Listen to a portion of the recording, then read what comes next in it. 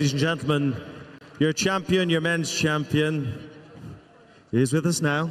And an incredible finish to that game. Four aces to finish it off between the pair of you. Yeah, yeah, that was uh, that was pretty amazing. It doesn't happen very often, but again, when you have a conditions like that, it's uh, if you have a good surf, it really pays off.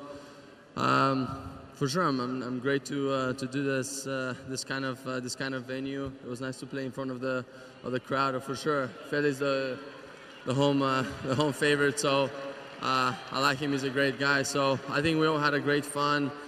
Um, all the colleagues were you know pretty pretty easy, but uh, yeah, when it came to crunch time, was uh, was really important to be strong.